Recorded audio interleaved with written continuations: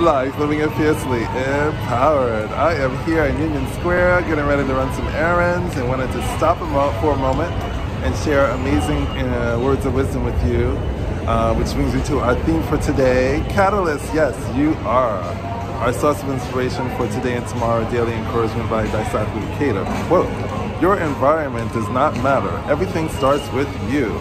You must forge yourself through your own efforts. I urge each of you to create something, start something, and make a success of something.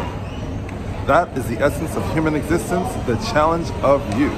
Herein lies a wonderful way of life, always aiming for the future. Isn't that just like so powerful?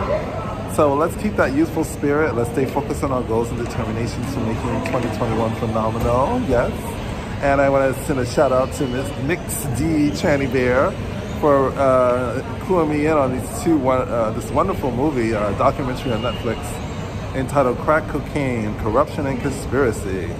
again, um, exposing the injustice on our communities. Uh, and then I also saw Freeway. Crack in the system on Prime Video, and a Ricky Ross Freeway quote says, "The champ is always the champ as long as he get up." So let's stay up and let's have a fabulous week. And always remember life, living it fiercely. Empowered.